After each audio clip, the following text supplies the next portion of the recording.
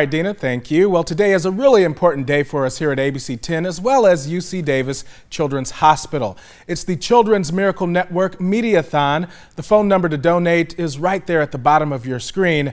Now, our very own Mark S. Allen is out at UC Davis Children's Hospital with more on how your donations are truly making a difference. Mark, take it away.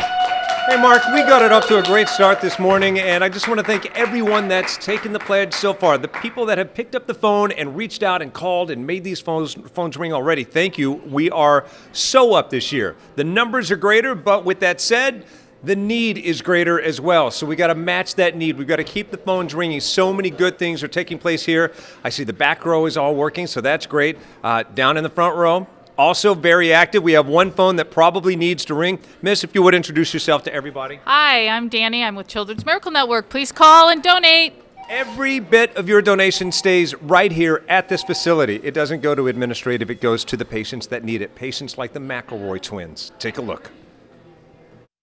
The McElroy twins had it rough from the start. Born 12 weeks premature, Noah and twin sister Riley arrived without notice. There's so much fear.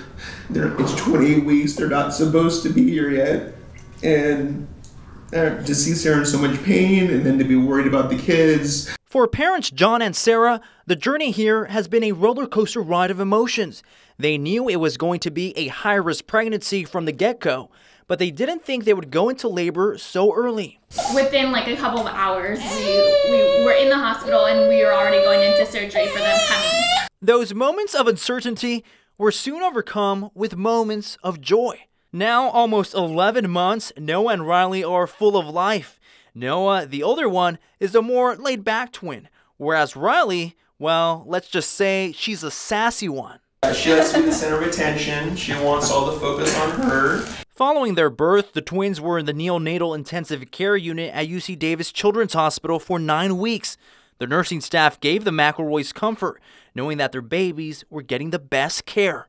Our model in nursing that we have here is primary nursing, which is really relationship-based care. We create relationships with each other here at UC Davis Children's Hospital, just as we create relationships with our patients and families. But there have been a few setbacks along the way. At six months, Noah was hospitalized after having choked on his spit.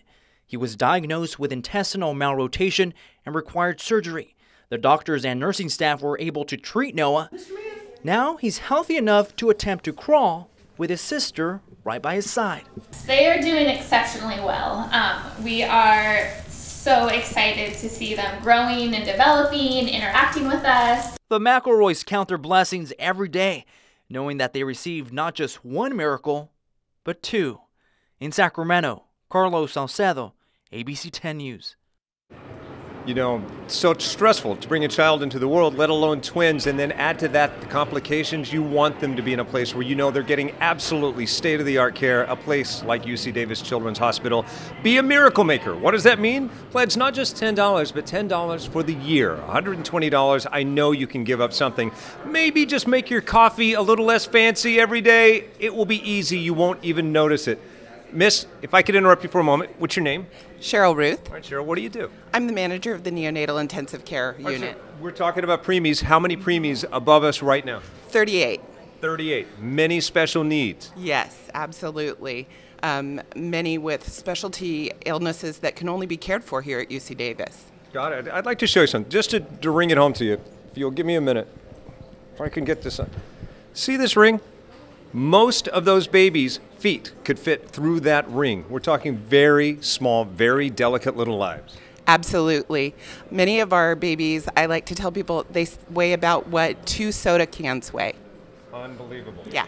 So, uh, you know, they're going to need special needs lungs, heart, other complications can ensue. And also, I should point out that about 70% of the babies that come through here aren't insured.